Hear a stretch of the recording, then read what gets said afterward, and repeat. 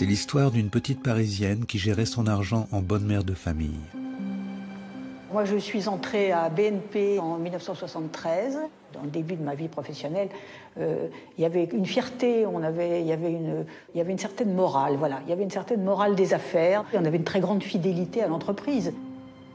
C'est l'histoire d'une banque qui accompagne la vie des Français depuis les années 60. 44 000 salariés, 1900 agences, 7 millions de clients. Elle est la plus grande banque française. Moi, je travaillais dans une petite agence en banlieue, une agence locale qui s'occupait de clients locaux. Je les croisais quand je faisais mes courses. Je m'occupais de leurs projets, je les voyais se marier, acheter une maison. J'avais le sentiment d'être utile. C'est l'histoire d'une lente dérive. Aujourd'hui, on a l'impression qu'il y a la seule morale, c'est la rentabilité. Et, et ça, je pense que ça doit créer des états d'âme pour certains. Au-dessus de nous, c'est un autre monde. Une petite élite de la banque coupée de la réalité.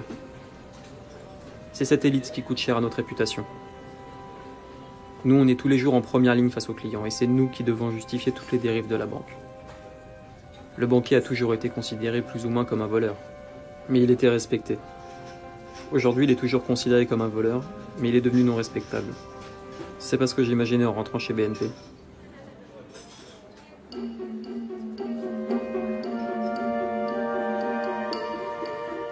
Pourquoi ces salariés de BNP Paribas ont-ils le sentiment de ne plus être en phase avec leur entreprise et rejoignent la contestation de leurs propres clients?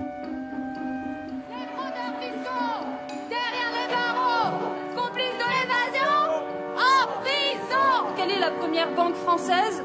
Quelle est aussi la première banque qui utilise les paradis fiscaux? Eh bien, c'est BNP Paribas. Quand vous discutez avec la grande majorité des effectifs, qui sont en fait des gens qui sont derrière des guichets ou derrière des écrans, mais qui en fait n'ont rien à voir avec des traders, ils sont absolument horrifiés, scandalisés, humiliés qu'on les associe à ce métier-là. Ah tiens, ouais, du pognon. Oh, ça c'est notre À quel prix ce petit établissement parisien est-il devenu en un demi-siècle un géant mondial de la finance? C'est clair que moralement, on se rend compte que d'une certaine manière, on était du mauvais côté des choses. Nous savons tous, les anciens comme moi, que les gens de la BNP Paribas Suisse, ils ont fait ça pour, pour avoir des plus gros bonus.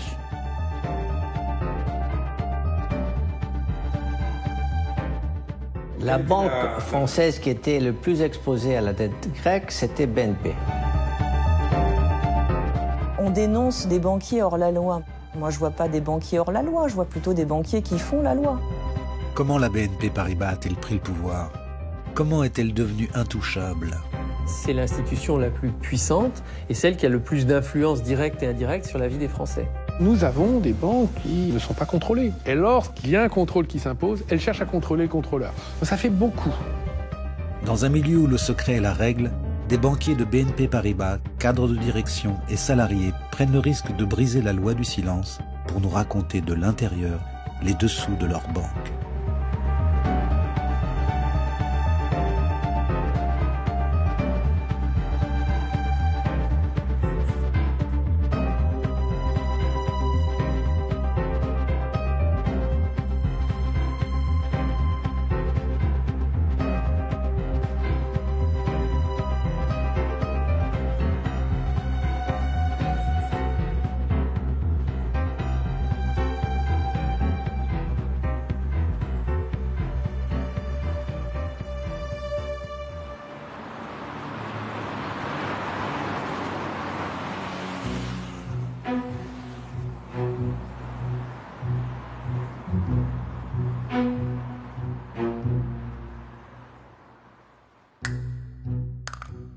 Photo symbolise à elle seule le pouvoir de BNP Paribas.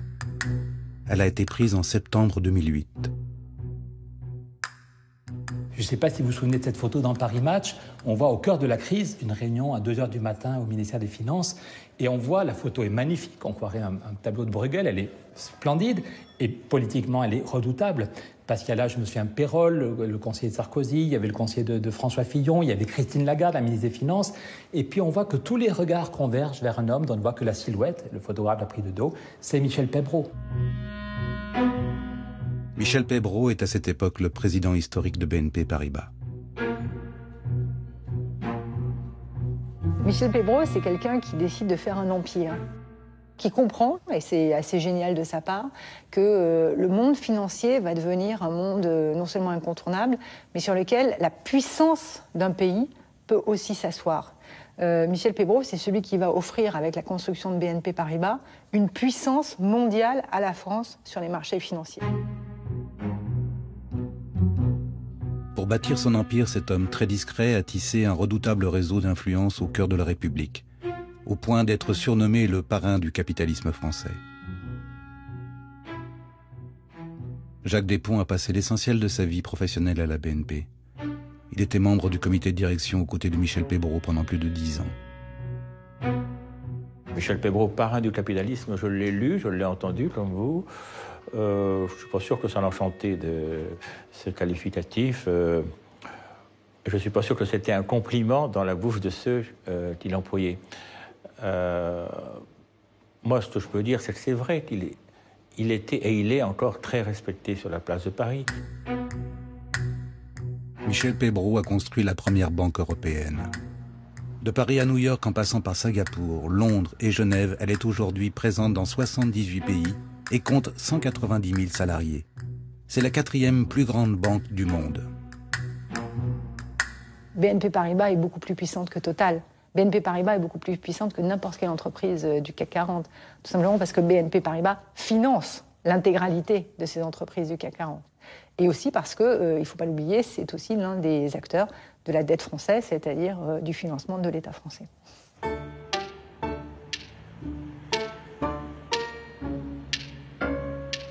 Au départ pourtant, en 1966, la BNP, la Banque nationale de Paris, est encore une petite banque née de la fusion du comptoir d'escompte de Paris et de la Banque nationale pour le commerce et l'industrie.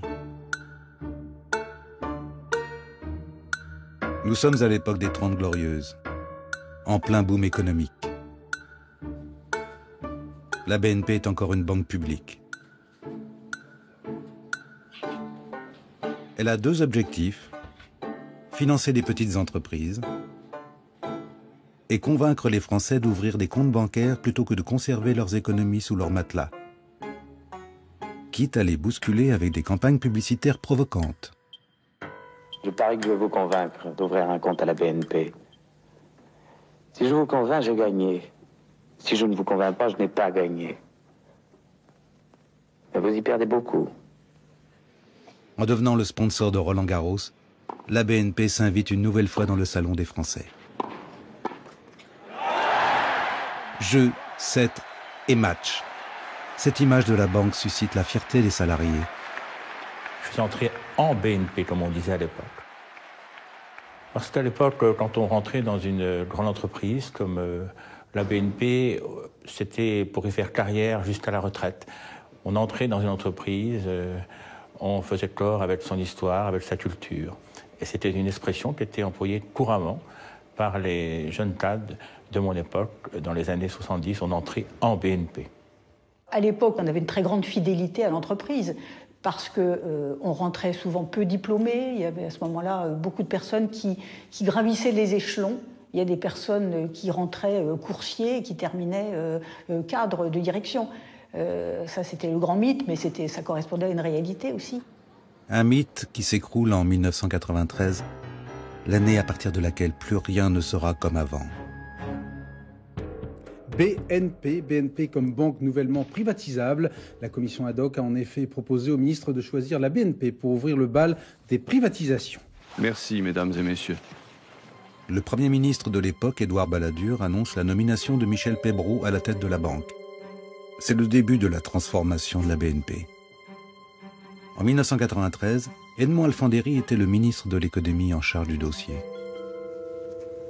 Oui, l'objectif, au fond, de ces privatisations était de permettre aux entreprises françaises de retrouver la liberté de manœuvre, les marges de manœuvre pour se développer, pour croître, et pour certaines d'entre elles, si elles en avaient la capacité, de devenir des champions mondiaux. Le métier de la banque, le métier de la BNP, c'est de mettre de l'huile dans les rouages de l'économie pour faire avancer les entreprises.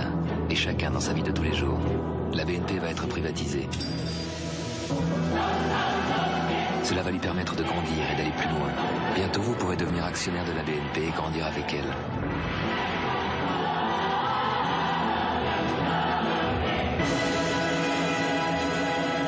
BNP, grandissons ensemble.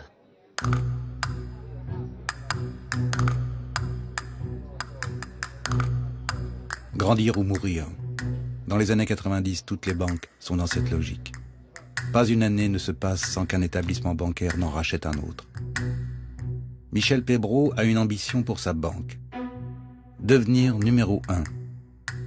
Pour cela, en 1999, il va mettre la main sur la plus grande banque d'affaires française, Paribas. Avec Paribas, BNP change de dimension et surtout de style. Madame, Monsieur, nous avons le plaisir de vous accueillir chez l'un des plus prestigieux groupes bancaires et financiers du monde, Paribas. Ici, ni guichet, ni petits porteurs, mais des clients fortunés et des grandes entreprises. C'est d'ici qu'ont démarré les premières autoroutes privées. C'est d'ici qu'a jailli le pétrole français en mer du Nord. C'est ici que chaque jour, Paribas entreprend, innove et réussit. Madame, Monsieur, vous aurez prochainement la possibilité, vous aussi, d'en devenir actionnaire. En fusionnant BNP et Paribas, Michel Pébreau vient de donner naissance à la première banque française. Gilles Huard était trader dans les salles de marché de Paribas quand Michel Pébreau lance son offensive. Cette fusion, lorsqu'elle arrive, je crois qu'il est 10 h du matin, euh, lorsqu'elle est annoncée, la salle des marchés euh, de Paribas, euh, d'un seul homme, sans se concerter, se lève et tout le monde applaudit. Tout le monde applaudit parce que d'abord, c'est un coût financier énorme en termes d'image, de rayonnement de la France, en termes de, de, de, risques financiers, c'est énorme. L'issue, elle s'est avérée être plutôt favorable euh, à Paribas, puisqu'on se retrouvait avec une, banque qui était extrêmement complémentaire, euh, beaucoup plus complémentaire qu'on aurait pu penser. Donc en fait, c'est un mariage win-win, où tout le monde y gagne en fait. Tout le monde y gagne, et c'est pour ça que ça a si bien fonctionné derrière. Grâce à ce mariage, Michel Pébreau devient le banquier de l'économie française. Paribas, c'est quoi? C'est d'abord des participations qui sont gigantesques dans une grosse partie euh, de l'industrie française à travers une cathédrale de holding où là ils sont actionnaires de référence de compagnies comme Lafarge, Total, Pernod Ricard, ainsi que GDF Suez. Ce dont va jouir BNP Paribas pendant une dizaine d'années, euh, c'est d'être vraiment euh, en position centrale au sein du capitalisme français. Cette fusion, c'est donc la rencontre de deux univers que tout oppose. D'un côté, la BNP, une banque de dépôt classique. De l'autre, Paribas, la Rolls-Royce de la banque d'affaires.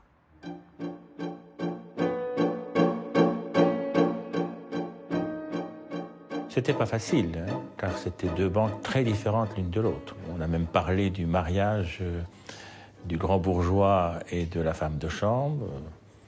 Je dois dire que comme BNP, je n'ai jamais accepté ce qualificatif, car quand même, c'est la BNP qui a acheté Paribas et pas Paribas qui a acheté la BNP. Les salariés de Paribas, ils se considéraient, du fait qu'ils étaient banque d'affaires, un peu comme les seigneurs de la banque. Et, euh, et les BNP, c'était plutôt le, les prolos, enfin beaucoup plus, euh, voilà, c'était plus, euh, c'était moins noble. Les, les, gars de BNP, ils avaient quand même une certaine admiration pour nous mais ils considéraient qu'on était des escrocs. Et nous, on pensait, c'est des nuls, on va les sortir, parce que on est là pour faire de l'argent. Trader chez Paribas, Philippe Louski a poursuivi sa carrière chez BNP après la fusion. À Noël, il n'y avait pas euh, des guirlandes partout, des boules et des Pères Noël, ça n'existait pas. Du jour où BNP a, fait la fusion, à l'agence du personnel, c'était comme à la maison. C'est limite, il n'y avait pas un sapin avec des boules, des cadeaux, des les gens. Euh, c'est une autre culture, plus populaire, plus proche. C'est normal pour une banque de réseau. Une banque de réseau doit être proche de ses clients, et elle était proche de ses clients. Nous aussi, on était proche de nos clients, mais c'est pas les mêmes clients. Quand on a vu les salaires, quand on a vu les voitures de fonction, quand on a vu les bonus des collaborateurs de Paribas, euh, on a été très surpris. Chez BNP, les gens venaient pas travailler ni en Porsche, ni en Jaguar, ni en c'était pas bien vu, quoi. C'était pas un truc qu'on fait. Chez Paribas, tout le monde s'en fout. Enfin. Les free-free, c'était euh, de la part des collaborateurs de la BNP euh, qui ne voulaient pas être traités comme des femmes de ménage. Quand on disait free-free, ça voulait dire fric et frime. Free-free. Au-delà des mots, ces anecdotes témoignent d'un changement profond. Pour le nouvel ensemble BNP Paribas, le virage est radical.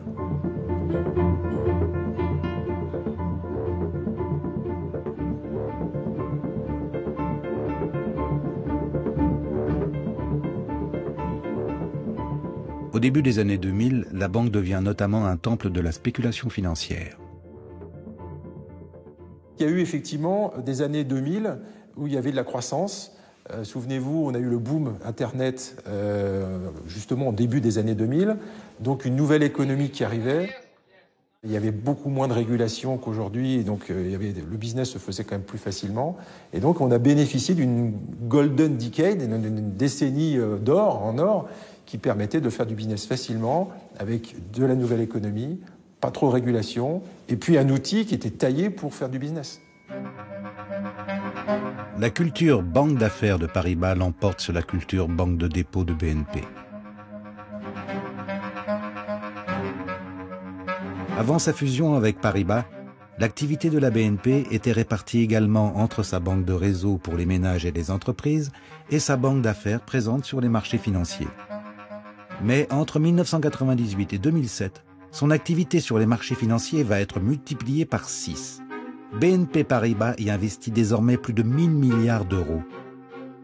Avec ce changement de stratégie, la taille de la banque explose. Elle ressemble de plus en plus à ce que l'on appelle une banque casino.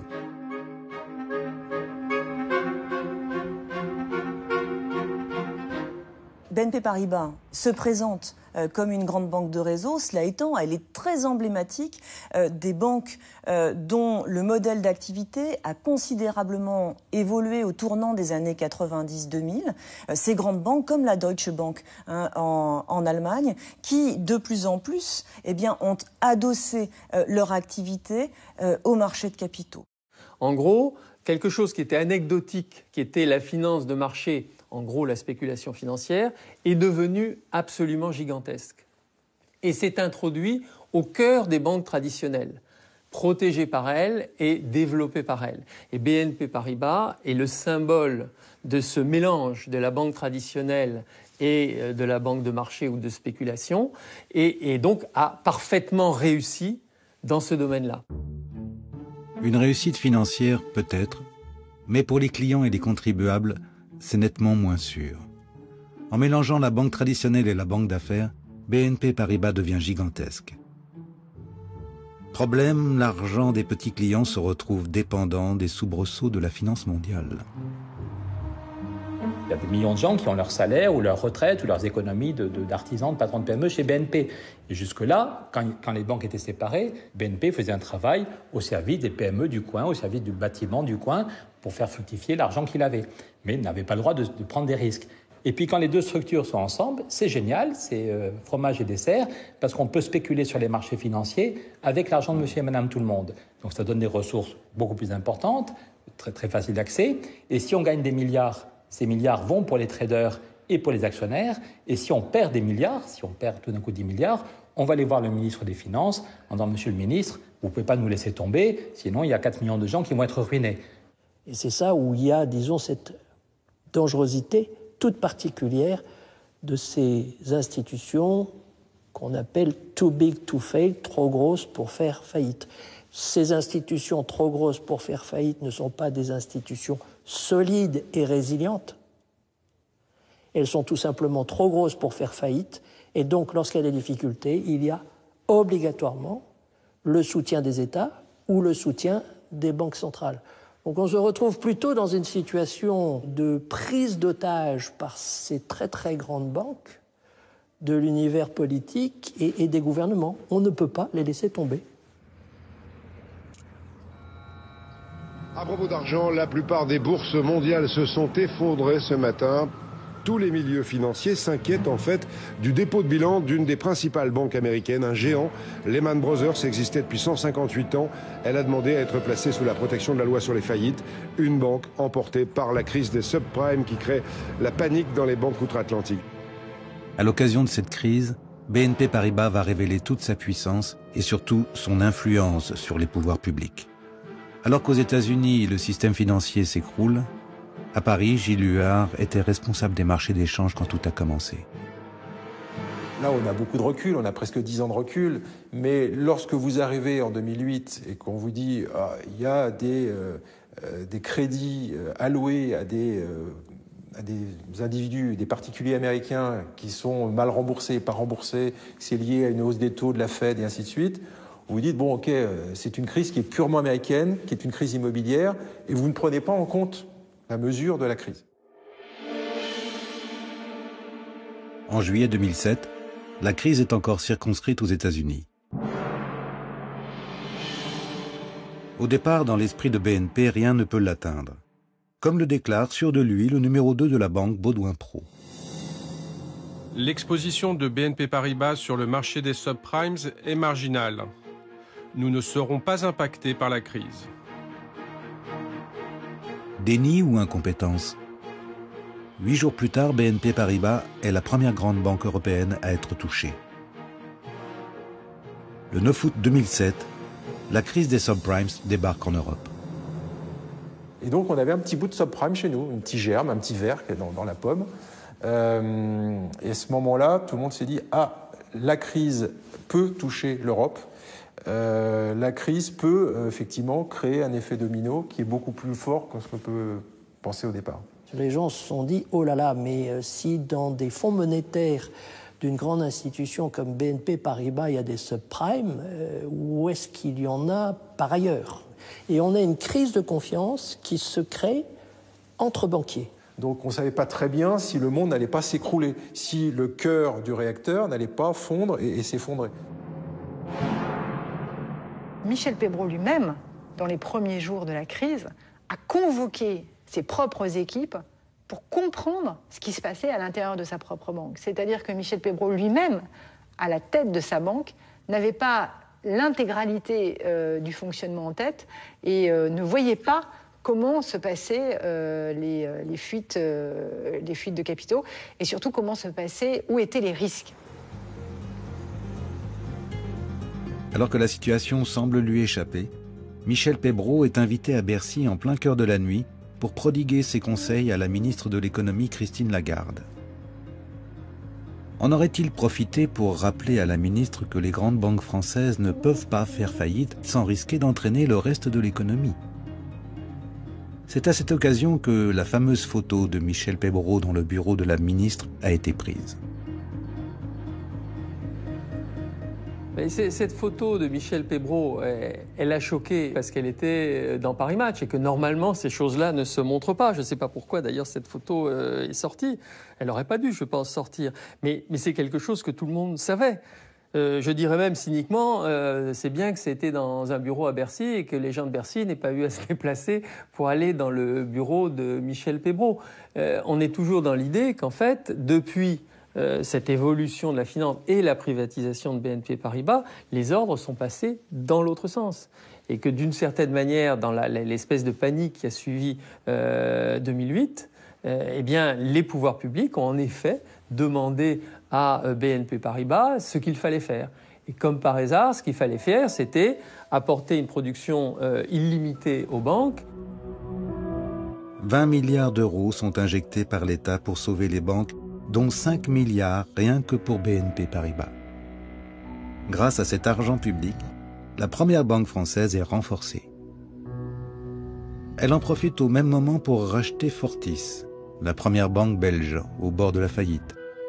Alors que le monde est en crise, BNP Paribas devient la plus grande banque européenne.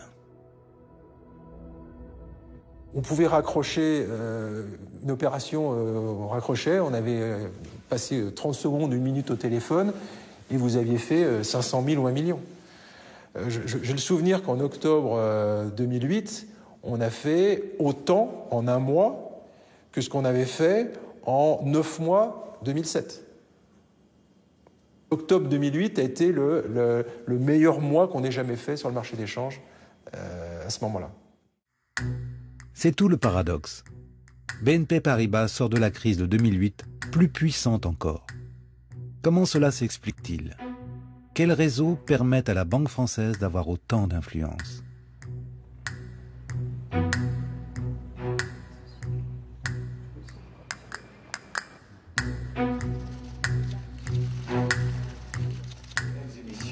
On ne peut pas demander la garantie de l'État et tolérer le moins du monde. Les dérives scandaleuses constatées ces dernières années. Au lendemain de la crise, l'injonction du président de la République masque une réalité plus complexe pour les décideurs politiques. BNP, comme d'autres grandes banques françaises, entretient des relations très étroites avec son ministère de tutelle, le ministère des Finances. Et pour cause, hauts fonctionnaires et banquiers sont parfois les deux faces d'une même pièce.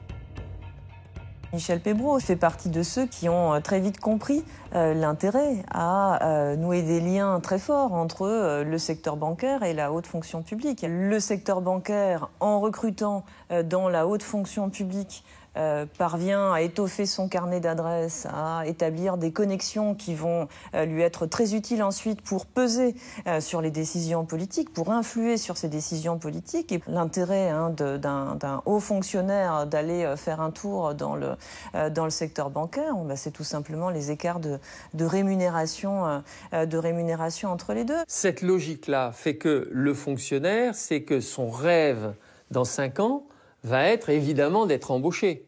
Il est extrêmement difficile de traiter comme un chien son futur employeur. Donc on est, je ne dis pas qu'on tord la réalité, mais enfin on va être particulièrement sensible quand même aux, aux arguments de la personne qu'on est censé contrôler. Et puis celui qui est passé de l'autre côté de la barrière, il garde tous ses anciens contacts. Il peut laisser entendre qu'il fera venir l'un et peut-être pas l'autre. Donc on est dans un monde où rien n'est dit, où tous les gens en eux-mêmes peuvent se regarder dans la glace, ils n'ont rien fait euh, d'ignoble, ils n'ont pas touché d'enveloppe, mais on est dans le système du copinage. Jacques Despont est lui-même passé plusieurs fois par le ministère des Finances parallèlement à sa carrière chez BNP Paribas. C'est avec une rare franchise qu'il nous explique l'intérêt du passage de l'un à l'autre. J'ai profité euh, de ces allers-retours entre le ministère des Finances et la banque. Euh, il faut être honnête, ça a été pour moi euh, un accélérateur de carrière. Parce que quand je suis revenu à la banque, on a naturellement tenu compte de mon expérience au ministère des Finances. En 1993, quand je suis rentré euh, aux côtés de Michel Pébro, l'année de la privatisation de la banque, euh, j'ai pris les fonctions de directeur du commerce international et j'ai été membre du comité de direction générale. Si je n'étais pas allé au ministère des Finances, je n'aurais jamais eu ces postes. Par exemple, pendant quatre ans, j'étais le directeur des relations comité extérieures de la France. J'étais dans tous les G7, j'étais au FMI, je, travaillais euh, au quotidien avec Jean-Claude Trichet, mon collègue et ami qui était directeur du Trésor. Donc tout ça, je n'aurais pas pu faire ça si j'étais resté à la banque. Donc euh, la banque avait tout intérêt à le valoriser et à l'utiliser. BNP. Ces initiales signifieraient-elles Bercy nous protège Quels sont les liens entre BNP et le sommet du pouvoir? Une anecdote laisse entrevoir une relation très directe. J'avais laissé un message à Henri Guénaud, qui à l'époque était le conseiller spécial de Sarkozy à l'Élysée. Et je me suis dit, après tout, s'il y a une chance sur 50 qu'une de nos idées soit reprise par Sarkozy, euh, ça se tente. Je perdrai peut-être une heure, mais voilà. Et donc, je laisse un message à Guénaud en disant, si vous voulez qu'on se voit, je serai heureux. Il me reçoit une semaine plus tard et j'arrive avec tous mes graphiques pour montrer la dette qui monte en Chine, le fait qu'on n'a rien réglé, le fait que ça peut péter n'importe quand. Et j'explique qu'est-ce qu'on peut faire en France et au niveau européen pour réguler la finance. Et Henri Guénaud me dit Je partage votre inquiétude, je partage votre inquiétude. Et je lui dis Mais alors pourquoi vous ne faites rien? Le bureau d'à côté, c'est le président Sarkozy, pourquoi vous ne faites rien? Et là, Henri Guénaud me crache le morceau et me dit que celui qui a vraiment l'oreille du président, c'est Michel Pebreau, le patron de BNP Paribas, qui vient régulièrement, toutes les deux ou trois semaines, je crois qu'il me dit, dîner à l'Élysée et qui explique que les banques françaises vont bien et qu'il ne faut pas changer de politique. Donc là, j'étais quand même, je ne sais pas comment on dit poliment, euh, sur le cul, euh, comment j'étais abasourdi. Euh, quand on est au premier étage de l'Élysée, un bureau immense, vu sur le jardin, il vous donne sa carte de visite, une carte bien épaisse où il y a marqué conseiller spécial du président. Mais finalement, Henri Guénaud explique que le vrai conseiller spécial du président, c'est Michel Pebreau, le patron de BNP Paribas. Je pense qu'il ne faut pas être naïf. Dans tous les pays, euh, le lobby financier est probablement le plus puissant. Euh, devant l'énergétique, devant euh, la pharmacie, devant les autres gros mastodontes. Euh, mais en France, c'est infiniment pire qu'ailleurs parce qu'il n'y a pas de contre-pouvoir. Cette influence sur le monde politique fonctionne à merveille. Reste à convaincre les Français que la crise de 2008 n'a rien coûté aux citoyens. Quand il y a eu un plan de soutien aux banques, tout le monde a pensé qu'on aidait massivement les banques. Un an plus tard, on peut faire les comptes. Faisons les comptes. Tout a été remboursé, l'État a touché 2 milliards. Donc ça n'est pas le, système bancaire français qui a coûté aux contribuables. Donc il faut simplement, les faits sont têtus, et il faut euh, partir des faits. C'est techniquement exact, c'est-à-dire que euh, les contribuables français n'ont pas versé de l'argent euh, à BNP Paribas. Mais là où BNP Paribas fait preuve d'hypocrisie, c'est que dans le même temps, euh, le risque s'est répercuté sur un déficit, le risque économique s'est répercuté sur un déficit considérable de la France qui a fait exploser la dette et qui, de fait, va devoir être payé par les contribuables. Dit autrement, ce n'est pas le sauvetage des banques qui a coûté de l'argent, c'est le fait que les banques aient arrêté de financer l'économie et que l'économie s'est effondrée et que là, il a fallu que l'État intervienne pour stopper euh, la crise économique. La crise des subprimes s'est transformée en crise économique majeure. L'Europe est à genoux. Début 2011, BNP Paribas et le reste des banques européennes demeurent fragiles. Résisterait-elle à une nouvelle secousse?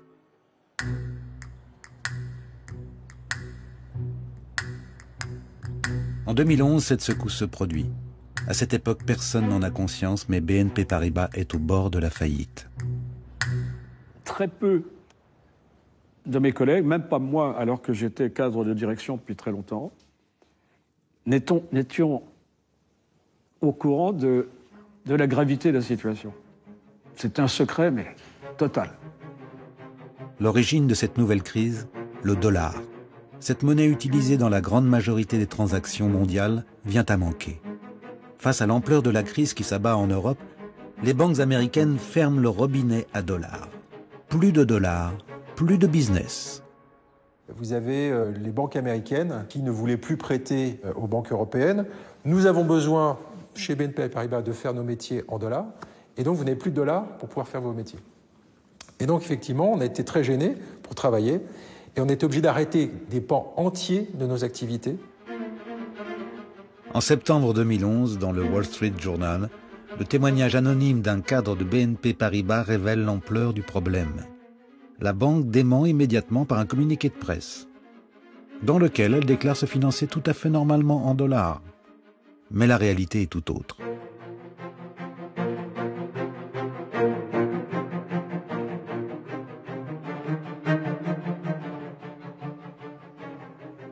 Tous les matins à 7h30, une réunion de crise a lieu au siège rue d'Antin. Les dirigeants de la banque doivent trouver des milliards de dollars pour continuer de financer leurs activités. Pendant un an, la banque est au bord de l'asphyxie.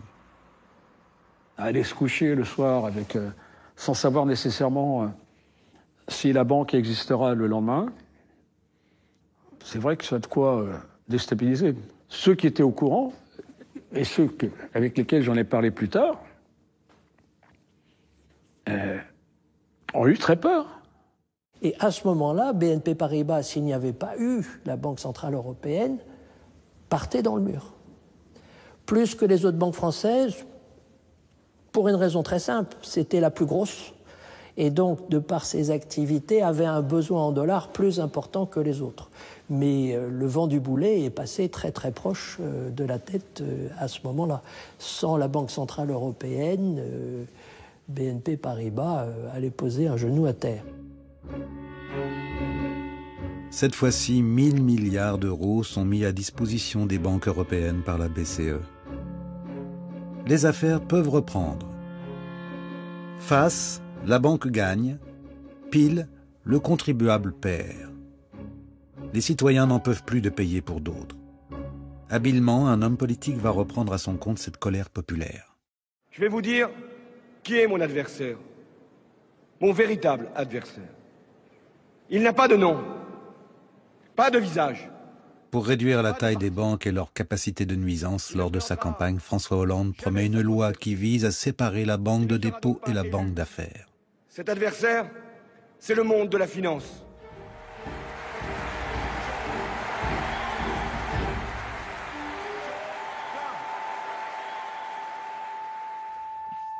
Cette idée de séparation bancaire du candidat Hollande est partagée par un ancien haut dirigeant de BNP Paribas. Bernard Alorand était directeur général des risques de la banque jusqu'en 2005. Il connaît les dangers que représentent ces établissements, dits trop gros pour faire faillite. Je pense qu'il faut ramener la banque d'investissement dans des proportions euh, où elle risque de faire moins de bêtises. Alors, ajoutez à ça que les banques font peur à chaque fois qu'il y a une crise financière à cause de leur taille, et je pense que c'est une euh, raison supplémentaire pour dire qu'on ne devrait pas laisser des mastodontes bancaires comme ça subsister, on devrait les forcer à, séparer leurs, activités, euh, en particulier la gestion d'actifs. Donc il me semble qu'on devrait désosser les banques et euh, les obliger à avoir une activité spécialisée. J'aurais eu assez peu de succès à tenir ces propos lorsque j'étais chez BNP Paribas. Euh, c'est surtout l'après-crise des subprimes qui m'a amené à, ce genre de réflexion. Euh, Michel Pébro, par exemple, était un tenant inflexible de la, de la Banque universelle. Mais je n'ai pas eu l'occasion d'en parler avec lui depuis. Je ne sais pas s'il a évolué, je n'en suis pas sûr. Pour Michel Pébreau, remettre en cause la Banque universelle, c'est remettre en cause l'existence même de BNP Paribas.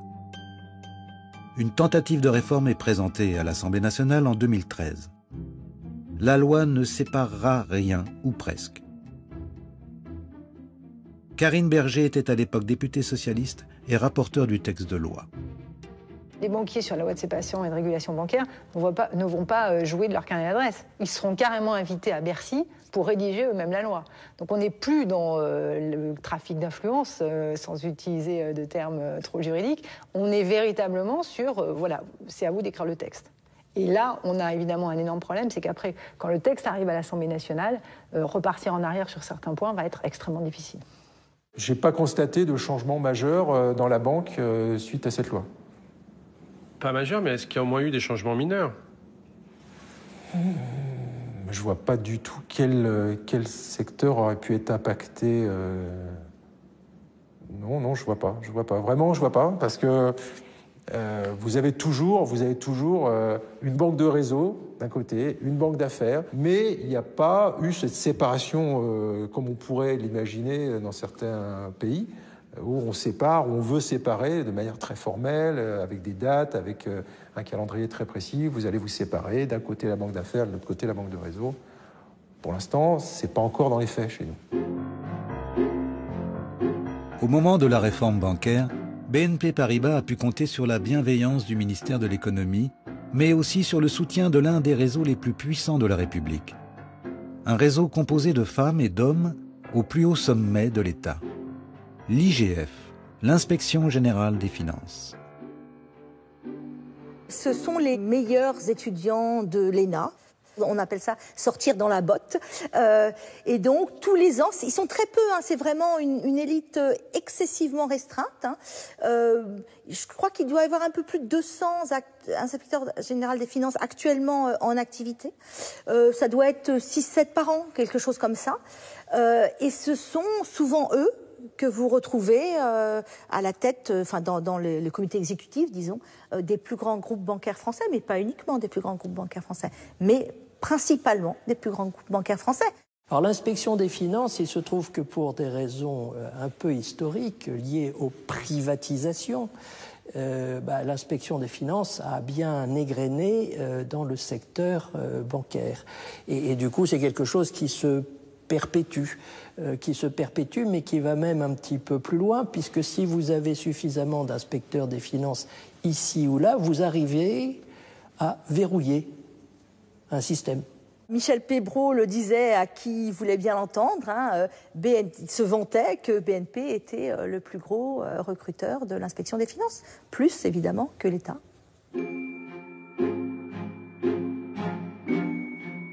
Ils seront 18 à travailler sous la présidence de Michel Pébreau. Michel Pébreau est lui-même issu de ce réseau. Il lui doit d'ailleurs son poste à la tête de la BNP. Si Édouard Balladur le désigne pour privatiser la banque en 1993, c'est que son nom lui avait été soufflé par l'ancien président de la BNP, René Thomas, un socialiste, mais avant tout un inspecteur des finances. Vous savez, la vie m'a appris que un inspecteur des finances de droite est plus proche d'un inspecteur des finances de gauche que d'un non-inspecteur des finances de droite. Il y a une solidarité euh, au sein du corps de l'inspection des finances euh, qui est redoutable. Une solidarité dont Arnaud Montebourg a pu prendre la mesure lorsqu'il était ministre du redressement productif à Bercy, au moment où la loi sur la séparation bancaire était rédigée. Il dispose euh, d'une influence dans l'administration euh, sur les cabinets ministériels droite-gauche confondus, parce que c'est la même chose, hein, euh, on se refile les mêmes dossiers, hein, c'est toujours pareil. Et donc, euh, finalement, quand des intérêts bancaires sont menacés, le réseau se met en marge des inspecteurs des finances et ils bloquent tout. Alors, s'ils n'arrivent pas à bloquer au niveau ministériel, ils bloquent à Matignon. S'ils n'arrivent pas à bloquer à Matignon, ils bloquent à, à l'Élysée. Donc, il y a toujours un inspecteur des finances qui veille. Voilà. Donc, il y a toujours finalement des corps de rappel. Si la crise n'a pas permis une réforme du modèle bancaire français incarné par BNP Paribas, elle a eu une autre conséquence plus inattendue. Elle va mettre un coup de projecteur sur une activité bancaire interdite.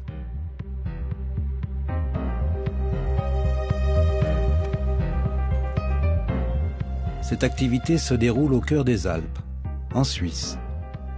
Ce petit pays est depuis près d'un siècle le centre névralgique de la gestion de fortune offshore, autrement dit de l'évasion fiscale. BNP Paribas est la plus grande banque étrangère implantée dans le pays. Pour ses riches clients, la Suisse présente un avantage indéniable, le secret bancaire. Et pour la banque, être en Suisse permet de gagner de l'argent très facilement. Cette filiale suisse est le joyau de l'empire BNP Paribas. Pourquoi on gagne beaucoup d'argent C'est que quelqu'un qui cache son argent n'est pas très regardant sur ce qu'on peut lui réclamer. Si, si vous êtes euh, quelqu'un d'honnête en, France et que vous voyez que votre banquier vous prend un peu trop de sous euh, euh, tous les mois, bah, vous lui téléphonez et vous dites Écoutez, monsieur, vous êtes gentil, je change de banque. En revanche, si vous avez caché 5 millions ou 10 millions et qu'il vous trouve tous les deux mois des charges supplémentaires, bon, n'osez pas lui dire euh, grand-chose. Et plus les gens sont euh, des gens malhonnêtes, entre guillemets, plus on peut leur pomper du fric.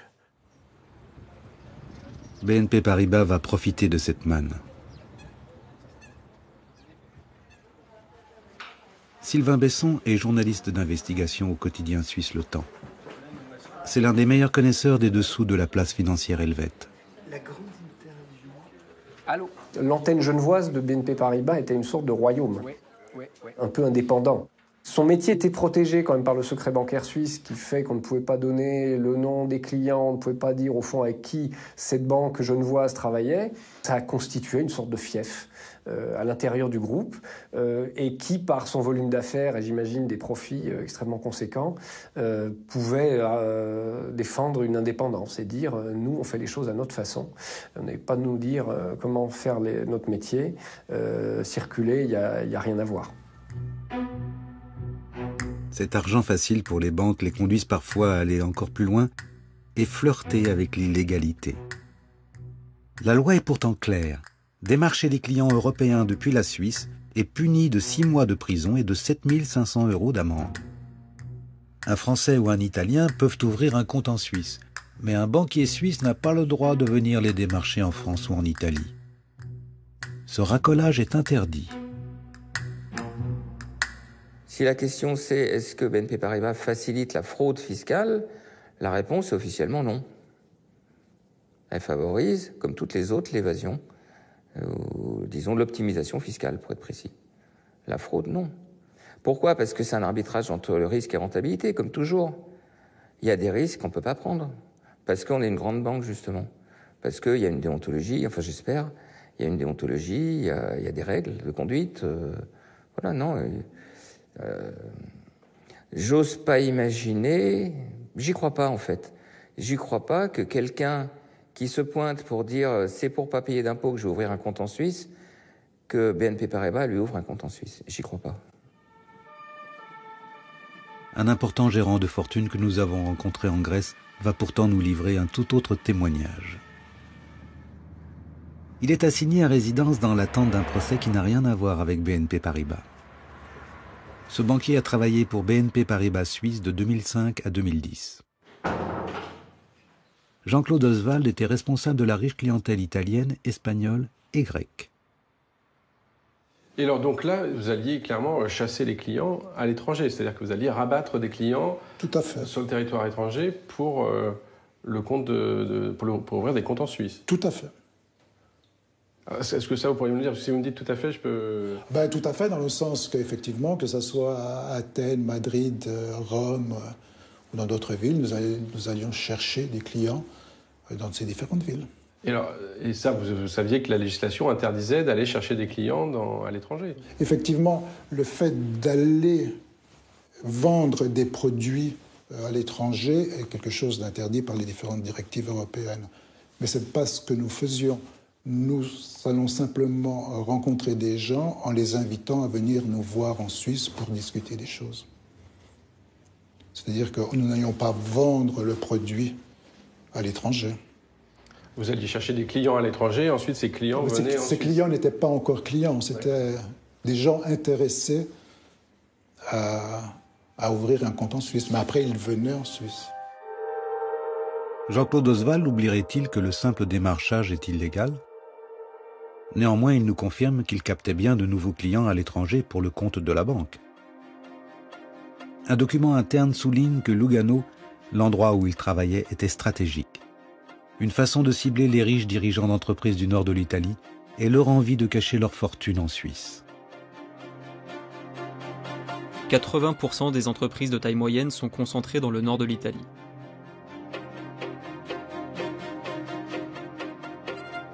Le bureau de BNP Paribas à Lugano dispose d'un emplacement stratégique. Cette captation de clientèle prend une nouvelle dimension en 2006 lors du rachat de la Banca Nazionale del Lavoro. BNP met la main sur un vivier de 2,5 millions de clients italiens. Clairement, pour nous, employés de la banque suisse, qui nous occupions du marché italien, ceci a, a changé beaucoup de choses.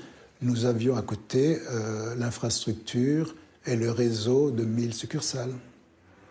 Donc, un changement d'échelle, si vous voulez. Une facilitation du métier, dans le sens que souvent, euh, les rendez-vous nous étaient organisés par euh, les succursales locales. Donc, vous n'avez pas besoin de chercher le client, le client vient tout seul.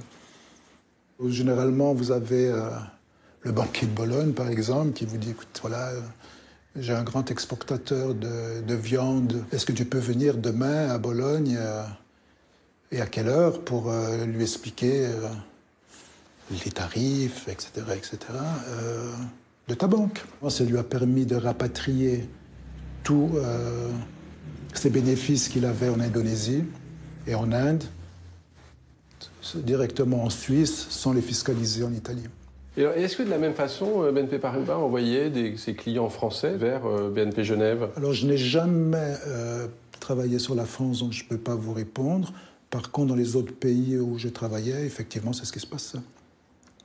Pratiquement 100% des clients euh, au début des années 2000 et pendant les années 2000 étaient euh, des clients non déclarés. En 2010, BNP Paribas Suisse gérait 40 milliards d'euros pour sa clientèle. Est-ce à dire que 40 milliards d'euros auraient échappé aux administrations fiscales du monde entier? La direction parisienne pouvait-elle ignorer les pratiques de sa filiale? Vous ne pouvez pas être mère de famille et être vierge, il faut choisir. Bien sûr, Paris était pleinement à connaissance des objectifs suisses et de l'atteinte ou non atteinte de ces objectifs. D'autant plus qu'il y avait des représentants parisiens dans le conseil d'administration de la Banque suisse. Cette filiale était tellement rentable qu'on excusait un certain nombre euh, de choses. C'était très curieux, c'était une banque dans la banque. Habilement, certains collaborateurs euh, mettaient en avant la réglementation euh, bancaire ou fiscale suisse pour ne pas donner à Paris des informations sur tel ou tel client ou telle ou telle opération. Euh, personne n'était dupe, tout ça, c'était pas sérieux et tout ça, c'était anormal. Michel Pébreau lui-même siégera au conseil d'administration de la filiale suisse de 2007 à 2015. Pour l'heure, seuls les États-Unis ont sanctionné la banque. En 2015, la justice américaine condamne BNP Paribas Suisse à une amende de 59 millions de dollars pour avoir aidé des ressortissants américains à dissimuler 1,2 milliard de dollars en Suisse.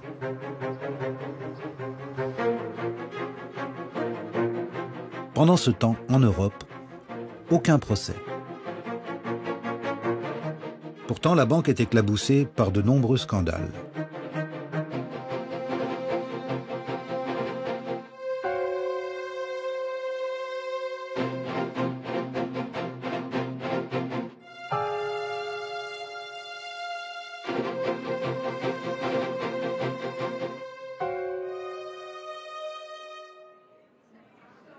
Michel Pébreau et sa banque contribuent activement à l'évasion fiscale et donc à l'assèchement des recettes de l'État.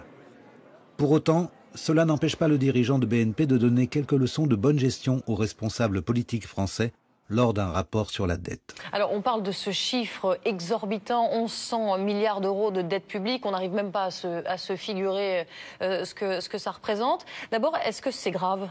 Oui, c'est grave. C'est-à-dire que ce qui est grave, c'est que cette dette est le résultat de 25 années de déficit accumulé. 25 euh, années de déficit pour l'État successivement, ça fait vraiment euh, une gestion qui, qui, pose problème. Si nous voulons renforcer notre croissance économique et notre cohésion sociale, il faut absolument mieux gérer nos finances publiques. Merci beaucoup Michel Pébreau d'avoir répondu à notre invitation. Michel Pébreau suggère à l'État de faire des économies pendant que BNP Paribas aide ses clients à échapper au fisc.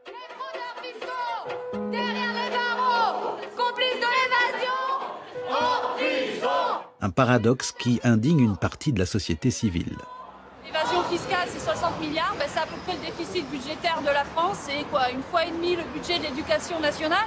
Donc quand on nous dit il n'y a pas d'argent, il faut supprimer plein de fonctionnaires, on ne peut pas restaurer les hôpitaux, on ne peut pas restaurer euh, l'éducation et les écoles ou les crèches, ben, c'est absolument faux. C'est une question de volonté politique et de lutte contre l'évasion fiscale. Vous me direz pourquoi la BNP Paribas? D'abord parce que sans banque, il n'y a pas d'évasion fiscale. Et puis que BNP Paribas, ben, c'est sans doute euh, une des, premières banques, voire la première banque française à pratiquer en plus l'évasion fiscale. 200 filiales dans les, euh, dans les paradis fiscaux et judiciaires. Donc on vient réclamer à BNP Paribas notre argent de citoyens. Tout ce qui est paradis fiscaux, euh, c'est bon, c'est un peu tabou. En fait, dans certaines réunions, genre comme les, réunions de comités de groupe, où certains syndicalistes ont interpellé des dirigeants sur le sujet, euh, ils se font euh, vraiment euh, vertement envoyer promener. c'est des sujets, bon, vis-à-vis des dirigeants, dont il ne faut pas parler. Proche du départ à la retraite, Elisabeth Assogba est la seule employée à avoir accepté de nous parler face caméra. Les autres responsables syndicaux que nous avons rencontrés, pourtant salariés protégés, n'ont pas voulu prendre ce risque. Devant la colère des contribuables et des employés, des parlementaires décident de donner des gages. En 2012, le Sénat lance une commission d'enquête sur l'évasion fiscale. BNP Paribas, comme d'autres banques, est auditionné. Baudouin Pro, le successeur de Michel Pébreau à la tête de la banque, s'y rend en personne. En conséquence, je vais vous demander de prêter serment à dire la vérité, rien que la vérité. Pour ce faire, vous devrez la main droite. Vous direz, je le fais. Je le fais.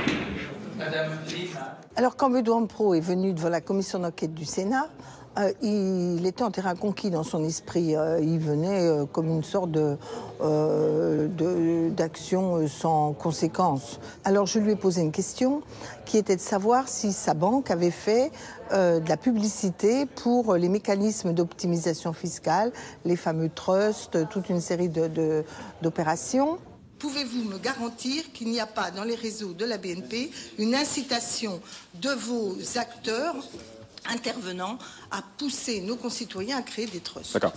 Il est extrêmement clair que euh, nos équipes de banques privées en France On peut instruction formelle de ne pas faire la promotion, instruction formelle de ne pas faire la promotion de notre dispositif de banque privée internationale et donc des outils, euh, y compris le trust, qui sont des outils de, qui, qui n'ont pas cours en France. Il se trouve que j'avais euh, des documents de quelqu'un qui avait reçu cette publicité et donc je réinsiste auprès de M. Pro pour lui demander s'il a bien conscience qu'il a prêté serment et donc il doit dire toute la vérité à la commission et je réitère ma question et il réitère, sans coup férir, qu'il n'y en a jamais eu.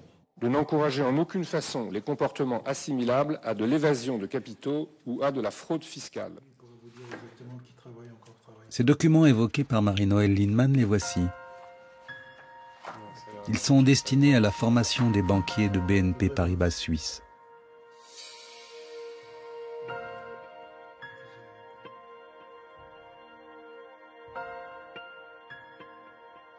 les trusts y occupent une place de choix. Ces structures ultra opaques sont prisées des fraudeurs pour échapper au fisc. Les gérants de fortune de la banque sont invités à en faire la promotion systématique à leurs clients.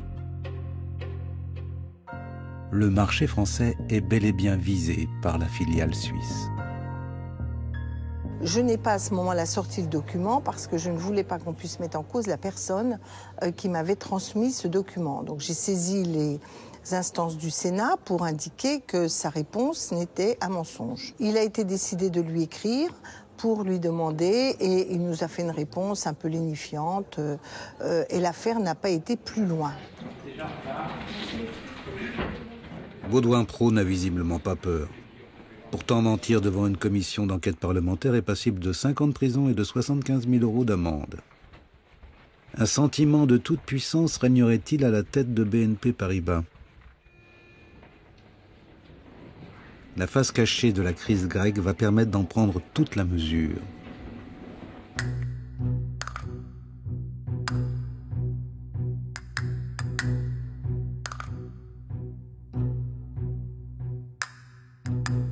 Avec son entrée dans la zone euro début 2000, la Grèce connaît une décennie faste.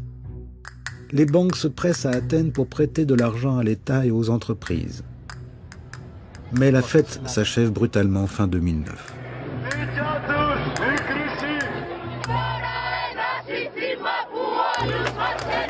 Le monde entier découvre effaré que l'État grec a maquillé ses comptes et qu'il ne peut plus payer ses fonctionnaires le pays doit 140 milliards d'euros aux banques et aux créanciers privés, dont 8 milliards à BNP Paribas.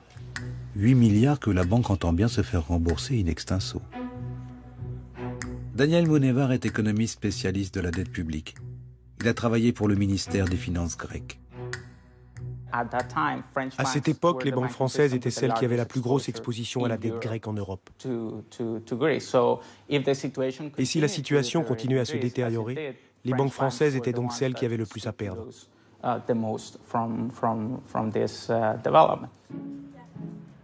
Comme BNP ne compte pas offrir ces 8 milliards d'euros à la Grèce, elle va peser de tout son poids pour qu'Athènes puisse la rembourser. Pour cela, elle va tout simplement exiger que la Grèce se réendette encore plus. Mais cette fois-ci, non plus auprès des banques, mais auprès des États et de son bras armé, la BCE, la Banque Centrale Européenne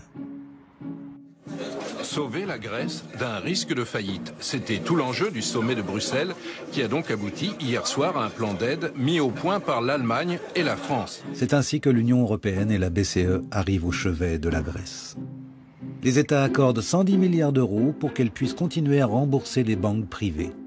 Une hérésie économique pour de nombreux observateurs quand euh, Madame Lagarde est venue nous expliquer qu'on avait trouvé la solution pour redresser euh, la Grèce, je lui dis mais Madame, la Grèce est incapable de rembourser sa dette, ses dettes. Grosso modo, il faudrait annuler à peu près la moitié de la dette.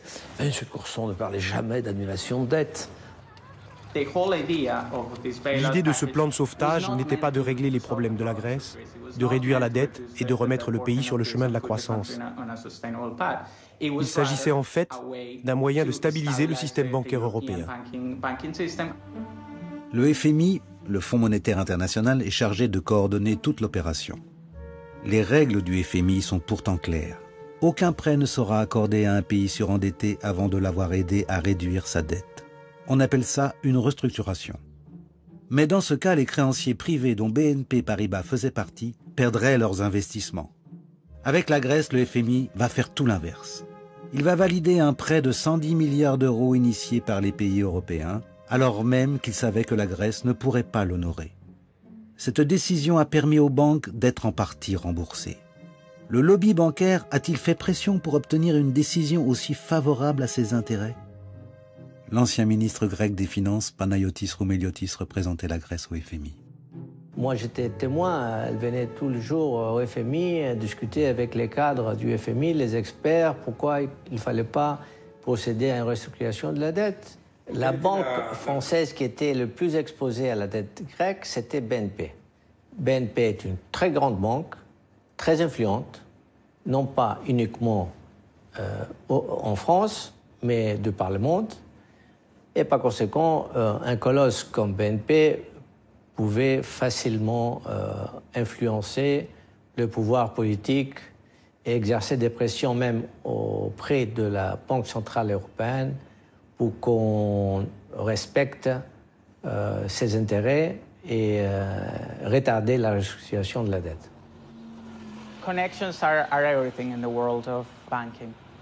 Les connexions sont tout dans l'univers de la banque.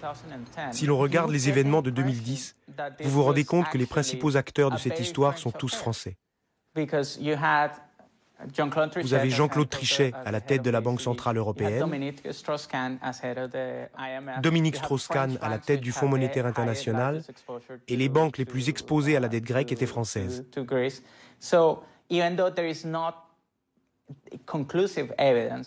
Donc même s'il n'y a pas de preuves définitives, on peut voir qu'ils ont joué ou qu'ils ont pu jouer un rôle sur le déroulé des événements, mais ça, personne n'en parle ouvertement.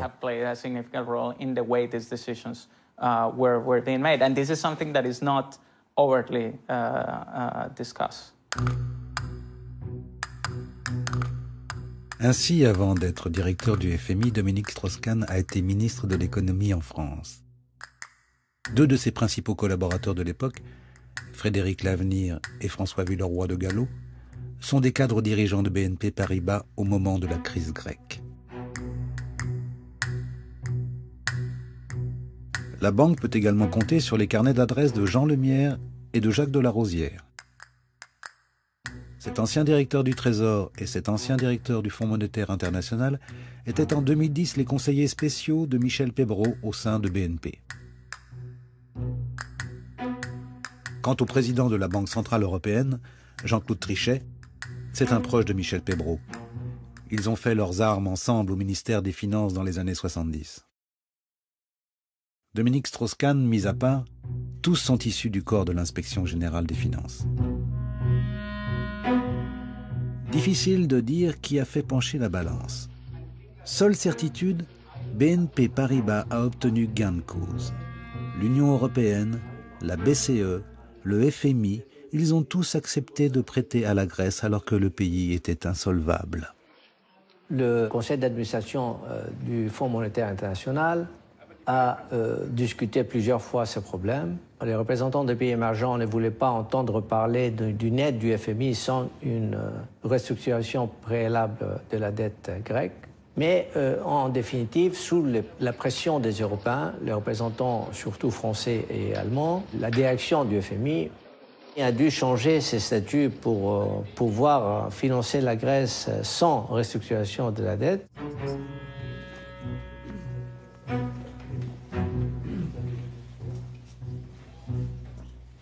Je crois que les Européens ont géré du mieux possible une situation très difficile que le FMI a géré du mieux possible une situation très difficile, parce que, bien entendu, quand vous avez une décision, il y a toujours ceux qui sont pour et ceux qui sont contre. Si vous ne prenez que ceux qui sont contre, vous pouvez en effet euh, penser qu'il euh, y avait de très bonnes raisons de ne pas faire, mais finalement, qu'a décidé le FMI Il a décidé d'y aller.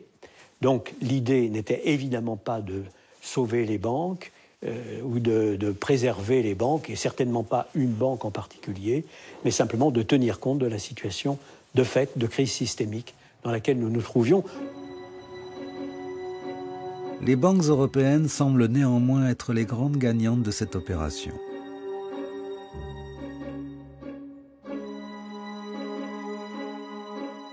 Début 2010, elles détenaient 200 milliards d'euros de dette grecque, alors que les créanciers publics n'en détenaient que 36 milliards. Quatre ans plus tard, les créanciers privés n'ont plus que 13 milliards d'euros de dette grecque, tandis que les États en détiennent désormais 227 milliards.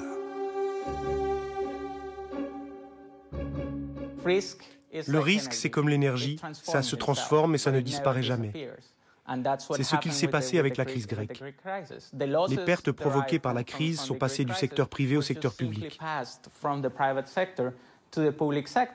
La seule différence, c'est que les pouvoirs publics peuvent accepter d'enregistrer des pertes dans 20, 30 ou 40 ans.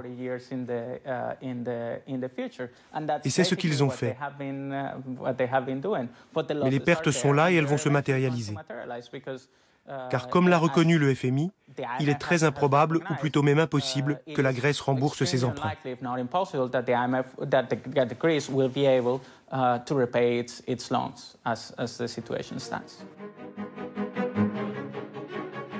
Avec cette crise, les contribuables européens ont hérité d'une ardoise colossale. La BNP, elle, s'est sortie du guépier grec grâce à un magistral tour de passe-passe. Mais ce qui a fait sa force en Grèce, ses réseaux et ses appuis, devient deux ans plus tard sa plus grande faiblesse.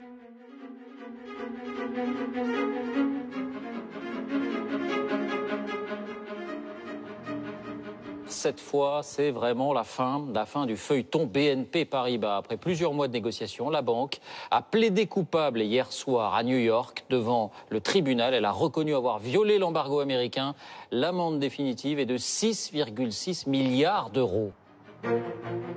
Une amende record annoncée après huit ans d'enquête menée par l'administration américaine. Les États-Unis reprochent à la banque d'avoir violé des embargos sur Cuba, l'Iran et tout particulièrement le Soudan.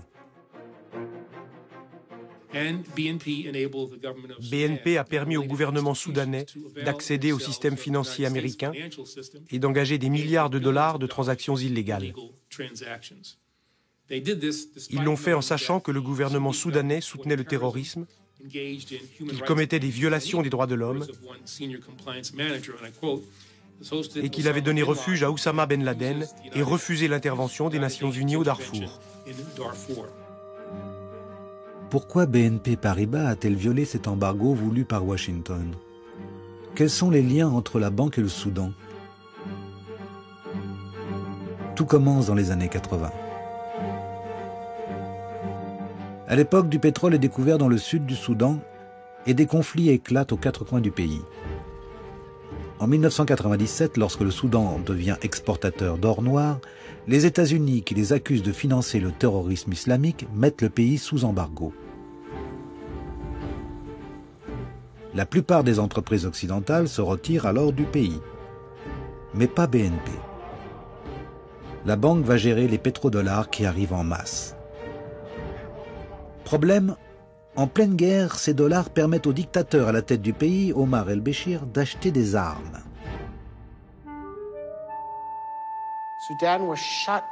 Comme beaucoup de pays dans le monde, le Soudan n'avait pas accès au système financier international. Il ne pouvait pas emprunter d'argent à l'étranger. Et le Soudan ne pouvait pas non plus emprunter localement, car le pays est trop pauvre. Un pays qui ne peut pas emprunter à l'étranger ou chez lui ne peut pas se lancer dans des opérations aussi coûteuses que la guerre. La guerre est coûteuse. En plus des armes qu'il faut acheter, il faut payer les soldats, les équiper, les nourrir. Être soldat est un métier dangereux et pour cela, il faut bien les payer.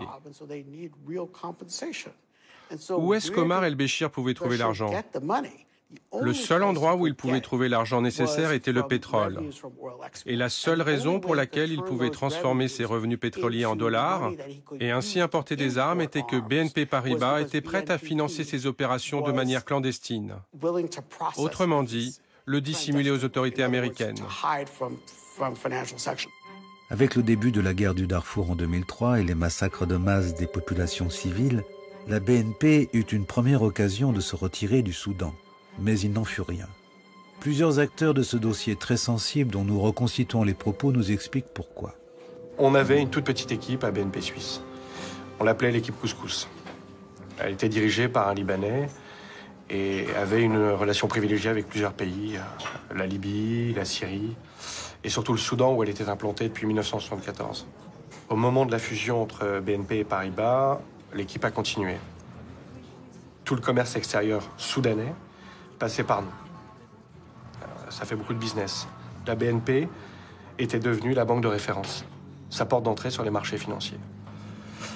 On a construit un monopole. Suite, la guerre éclate. On se dit que ça va pas durer très longtemps. Et puis ça a duré. Une banque ne fait pas de politique. Ce n'est pas parce qu'il euh, y a une guerre qui éclate qu'une banque arrête de travailler dans un pays. Si une banque commence à arrêter euh, de travailler euh, avec un pays parce qu'il est en guerre ou parce qu'il y a des problèmes avec les droits de l'homme, alors elle ne travaille plus avec grand monde. Le Soudan était évidemment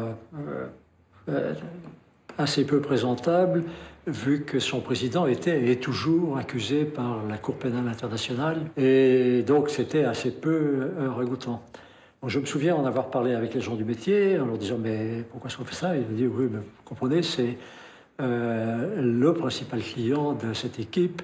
Euh, et c'est difficile de leur dire du jour au lendemain on arrête. Le reste de la conversation avait été de ma part de dire mais on va arrêter bientôt.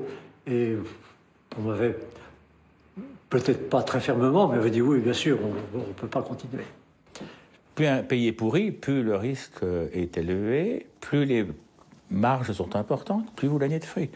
Et nous savons tous, les anciens comme moi, que ces, ces de, la BNP Paribas Suisse, ils ont fait ça pour, avoir des plus gros bonus. C'est la seule raison. C'est pas du tout pour euh, permettre aux pauvres Soudanais de manger. Hein. Ça n'a rien à faire. Si vous saviez, quand ils sont dans leur jaguar, ils sont pas. Hein. Donc, euh, il, euh, il serait allé sur encore plus pourri s'il y avait, parce que c'était. C'est mécanique. Enfin, plus vous allez sur un pays pourri, plus la banque gagne de l'argent. Donc, plus le collaborateur il a du bonus. C'est très clair. En 2006, BNP Paribas aurait pu saisir une seconde occasion de stopper ses affaires avec le Soudan. Washington envoie à Paris le numéro 2 du Trésor américain pour exiger des banques le respect de tous les embargos. Mais une fois de plus, rien ne se passe. Michel Pébereau refuse même de rencontrer le représentant des États-Unis. Je m'en souviens très bien, euh, c'était l'année de la réunion du FMI à Singapour. Et donc cette année-là, moi j'allais toujours être Pébereau, et donc euh, je me souviens très bien que euh, lui, il disait, c'est pas un, petit fonctionnaire, pour lui, un, un undersecretary, c'était vraiment, qui va venir me dire ce que je dois faire dans ma banque. Ça, c'est du Pébro, en disant, moi, je ne vais pas obéir à un, sous-fifre du département du Trésor américain. En mai 2007, les Américains lancent une enquête sur les violations d'embargo de BNP Paribas au Soudan. Un mois plus tard, la banque cesse toute relation avec le pays mais le mal est fait. C'est dans ce bâtiment au sud de New York que fut lancée l'enquête à l'origine de l'amende.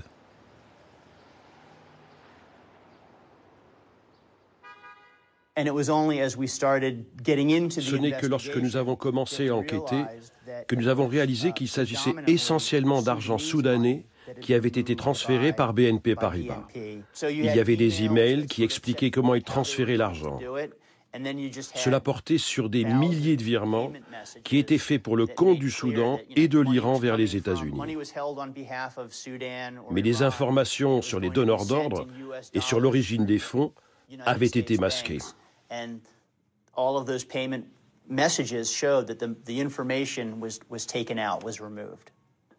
C'était la nature de ce qu'ils faisaient. C'était intentionnel, c'était délibéré et cela se répétait encore et encore pour des transactions portant sur plusieurs milliards de dollars. Ma conviction, c'est qu'ils savaient pertinemment ce qu'ils faisaient. Michel Maréchal a été entre 2000 et 2010 en charge du financement de projets en Afrique pour BNP Paribas. Il a une connaissance intime des rouages de la banque. Ce n'est pas quelque chose qui a été fait euh, en sous-main par euh, un collaborateur, etc. Non, non, non. Les volumes sont les volumes financiers sont, considérables.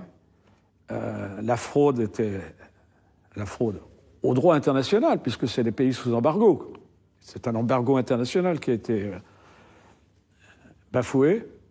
Non, je, ne peux pas croire l'ombre d'une minute que l'ensemble de la direction générale de la banque d'investissement n'était pas au courant.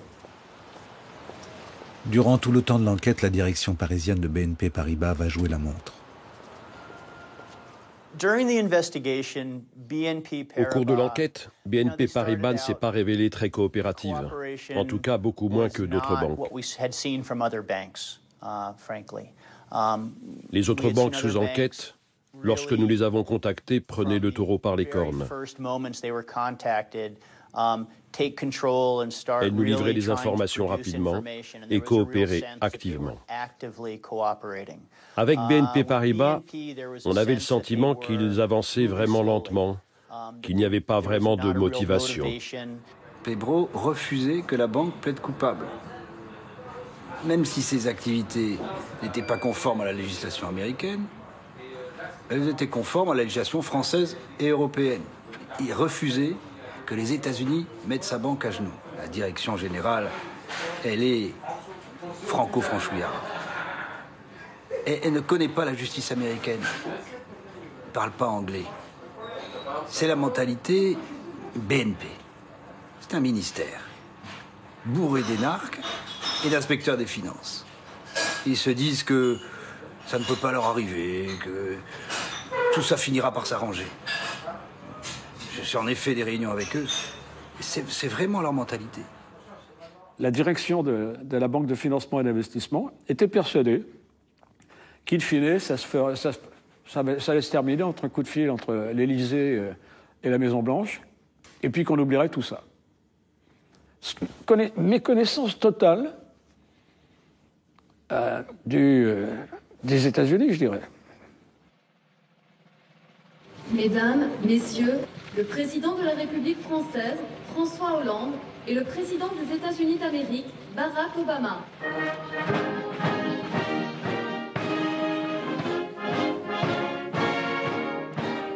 L'enquête américaine devient une affaire d'État.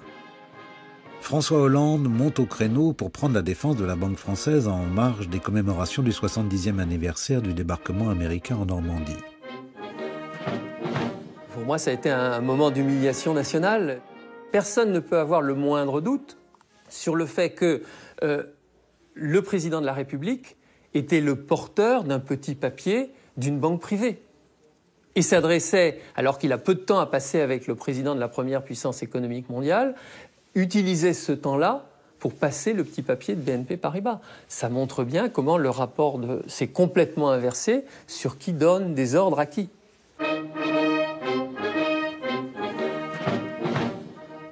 Questionné à ce sujet, le président américain apporte une réponse cinglante au président français. Uh, the tradition of the United States is that the president does not meddle in uh, prosecutions. We don't call the Attorney General. I do not pick up the phone and tell the Attorney General uh, how to prosecute cases that have been brought. I don't think that those types of political Je ne pense pas que ce type de pression politique fonctionne sur ceux qui travaillent sur ces dossiers. Vous n'avez personne qui appelle et qui dise Hé, hey, Obama a appelé, retirez un milliard de dollars de l'amende. Ça n'arrive pas.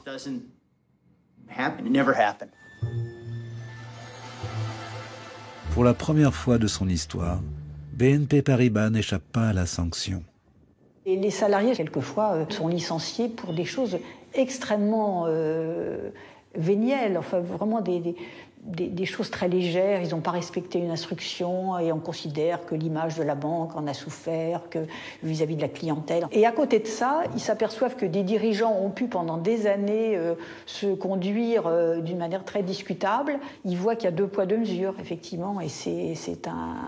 Euh, une source aussi de, de, bah, mécontentement, de, d'aigreur, de, oui, c'est pas bien, c'est pas bien vécu parce que euh, on n'est pas facile les voilà, c'est selon ce que vous serez puissant ou misérable, euh, voilà, on, est, on est toujours dans la logique où quand vous faites partie de réseaux puissants, euh, euh, eh bien vous êtes beaucoup plus protégé. Il faut vraiment des coups de théâtre énormes pour, pour en subir les conséquences. Ladies and gentlemen, the genocide in Darfur continued for 14 years. Over 3 million people are still living in camps. Stop genocide in Sudan. Stop genocide in Sudan la banque et ses salariés n'ont pas fini d'entendre parler du Soudan. Aux États-Unis, une class action regroupant des dizaines de réfugiés soudanais poursuit BNP Paribas pour avoir, je cite, participé au financement du génocide du Darfour.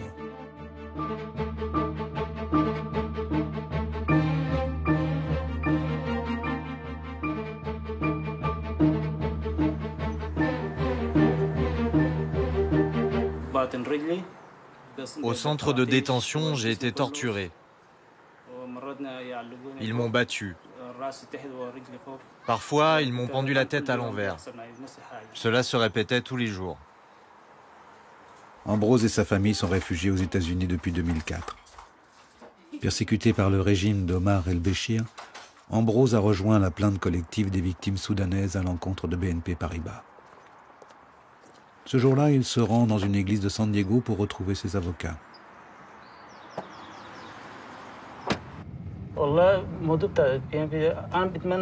Mon sentiment à l'égard de BNP Paribas est indécis. S'ils avaient développé le pays en faisant du business, je n'aurais pas eu de problème avec ça. Mais s'ils sont juste venus pour aider le régime à acheter des armes et faire du mal au peuple, je ne suis pas d'accord du tout. Comme lui, ils sont 26 plaignants à composer cette action de groupe représentant plus de 30 000 victimes soudanaises vivant aux États-Unis.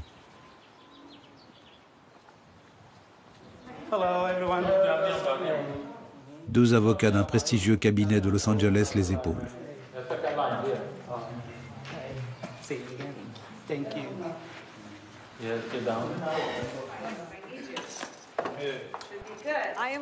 Je m'appelle Lee Crawford Boy. Je suis ici avec mon associé Tom Watson.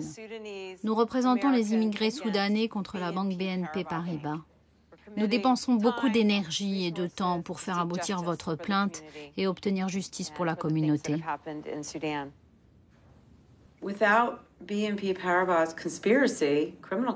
Sans la complicité de BNP Paribas avec le gouvernement du Soudan, les violences de masse subies par les plaignants qui ont rejoint notre action de groupe ne seraient pas arrivées. Cette action de groupe cherche à obtenir des dédommagements pour les victimes de l'un des plus grands crimes financiers de tous les temps. C'était l'amende la plus élevée jamais payée aux États-Unis par une banque pour un crime. Qui d'entre vous a eu un membre de sa famille assassiné? BNP Paribas déclare dans sa contestation de la plainte, et je vais vous la lire, Les actes de violence décrits sont déplorables. Mais BNP Paribas n'est pas responsable de ces actes. BNP Paribas ne les a pas commis et n'a pas aidé le gouvernement du Soudan à perpétrer des abus contre ses citoyens. C'est leur réponse. Ils défendent l'idée qu'ils n'ont aucune implication dans ce qu'il s'est passé au Soudan et qu'ils pouvaient fermer les yeux sur ce que la presse racontait, sur le fait qu'ils violaient des sanctions. Ils disent n'avoir aucune responsabilité et nous pensons que c'est faux.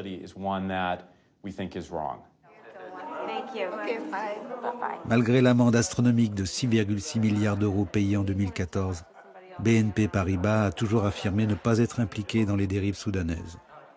Pourtant, sa responsabilité pourrait être mise au jour avec cette classe action américaine. Celle-ci pourrait lui coûter à nouveau très cher. En 2017, BNP Paribas est visée par une nouvelle enquête. Celle-ci concerne le Rwanda. La banque est accusée d'avoir financé des cargaisons d'armes ayant servi au massacre des Tutsis. L'instruction est en cours. Aujourd'hui, BNP Paribas est comme hantée par son passé mais elle continue d'enregistrer des bénéfices records, plus de 7 milliards d'euros en 2017. Comme si les amendes et les scandales ne l'affectaient pas. Comme si son pouvoir était immuable. Pour combien de temps encore?